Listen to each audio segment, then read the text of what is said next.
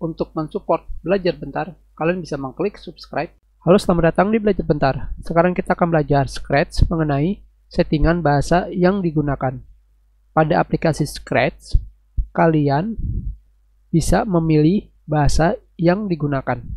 Bahasa awal yang digunakan sekarang adalah bahasa Inggris.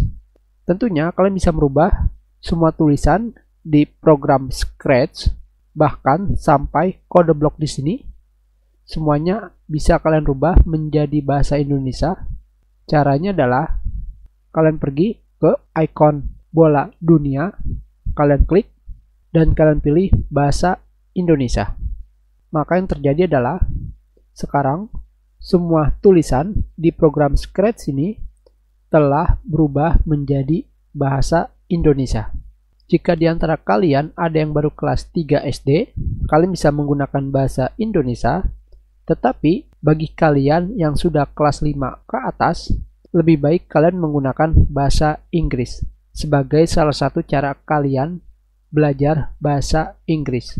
Tetapi jika kalian masih kelas 3 tetap menggunakan program Scratch ini dalam bahasa Inggris, itu artinya kalian sangatlah hebat.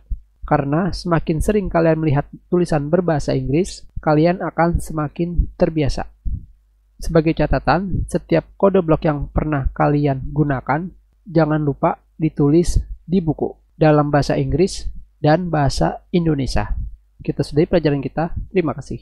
Jika ada yang ingin kalian tanyakan, kalian bisa menulis pertanyaan kalian di kolom komentar. Jika kalian menyukai video ini, klik like Kalian juga bisa menyebarkan video ini ke teman-teman kalian. Dan jika kalian belum subscribe, silakan subscribe agar kalian bisa menemukan video terbaru.